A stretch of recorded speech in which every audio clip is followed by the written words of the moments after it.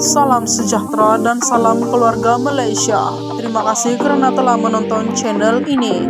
Channel ini menyampaikan berita-berita hangat mengenai artis dalam dan luar negara. Mari kita tonton isu-isu hangat hari ini. Jangan lupa tekan like, share, dan subscribe. Dan jangan lupa juga tekan tombol lonceng agar Anda tidak ketinggalan dengan berita-berita hangat selanjutnya.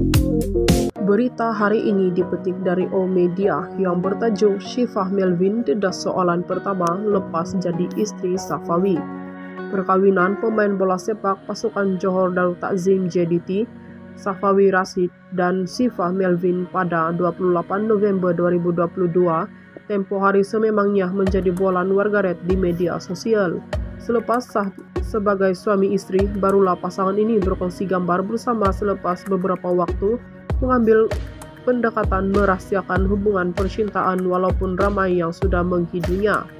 Dalam perkongsian terbaru Syifa atau nama sebenarnya Nur Syifa Atira Amirul Melvin 28 tahun itu memuat naik gambar pernikahan sambil meninggalkan caption lucu mengingatkan kembali momen sewaktu menunggu Safawi selesai sholat sunat setelah bernikah.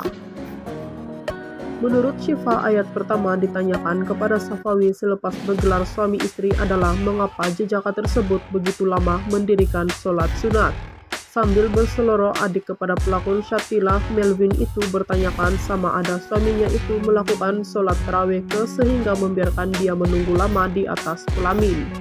Perkongsian yang dibuat oleh Syifa Melvin itu telah mendapat berbagai maklum balas daripada peminat mereka, rata-rata terhibur dengan gurauan Syifa itu lebih-lebih lagi apabila ada yang perasan sewaktu momen tersebut terjadi, walaupun terhibur dengan gelagat mereka namun kebanyakan warganet yang juga peminat pasangan tersebut tidak putus mendoakan agar mereka berdoa bahagia hingga akhir hayat dan tidak ketinggalan mengucapkan tahniah di atas pernikahan tersebut. Itu saja info hari ini. Sekian dan terima kasih.